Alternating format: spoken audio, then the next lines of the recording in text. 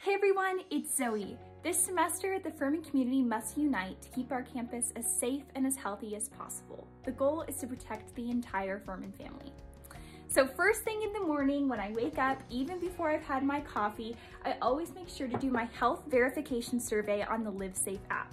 It takes just a few minutes and I'm always truthful with my responses. Let's see what my roommates are up to. Hey Zoe, Hi! is it okay if my friend from Clemson comes over tonight? We can't invite friends from off campus, and I thought we already talked about only inviting our allotted number of visitors. Oh shoot, well maybe we'll just hang out with Furman friends. Maybe like do a picnic outside or something. Oh, and social distance. That's great. Cool. What a great idea. Day by picking a mask. I grab it by the string. Make sure I'm not touching the front. Voila! And I always make sure to grab from my clean walking to class. Hey guys! Hey, you guys are a little too close and you're not wearing masks. Do you mind to put them on? Oh yeah, I have mine right here. Yeah, yeah. Pull mine out of my back pocket.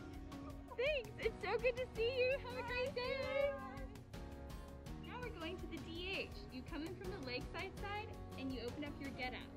Then you can go scan it and go right in. Make sure to follow the purple dots.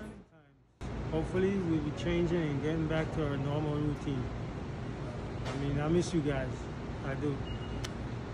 Thanks so much, Brian. In the dining hall, all of the sections are mirrored except for the vegan station. So make sure that you can go to any one of them. And don't forget to pick up a drink. So now you guys will get a chance to see what the PAC looks like or one of the classrooms in the PAC. So I'm currently walking um, to a class right now.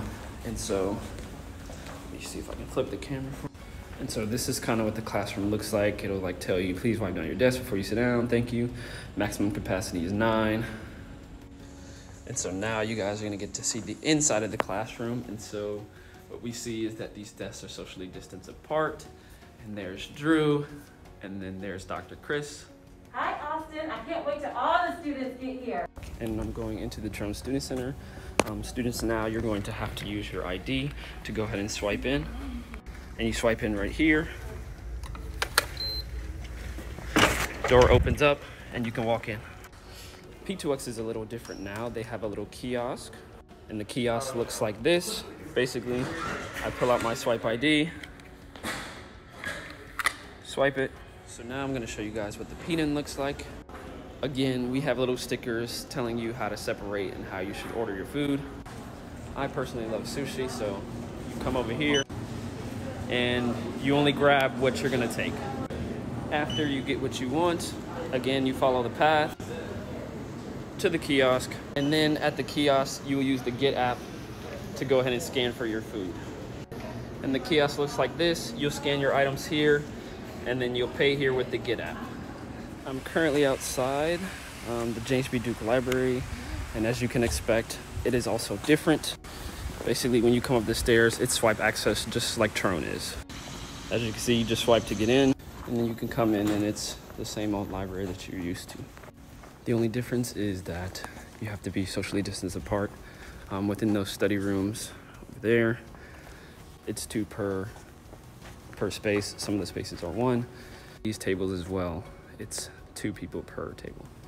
But you have to be able to make sure that after you're done using a space, that you clean it up. You can find various hand sanitizers and sanitizing wipes to wipe down your spaces. Welcome to the PAC. The PAC is still open for student use and student use only.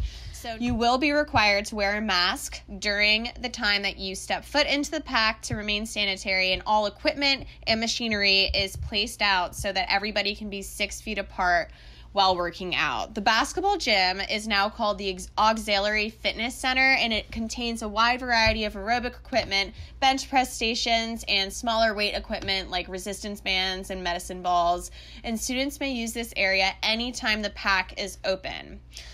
The former upper and lower level of the fitness centers are now reserved for the wellness classes from 8 to 5 on Mondays and Wednesdays and 8 to 4 on Tuesdays and Thursdays and 11:30 to 1:30 on Fridays. Students who want to exercise during this time will use the area on the basketball court also known as the Auxiliary Fitness Center.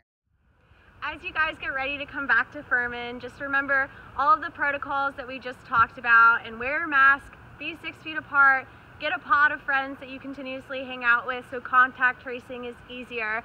And also just remember, be kind, be compassionate, and be responsible because this pandemic is affecting people differently. And just be respectful of that. We are all one Furman family, so let's act like it.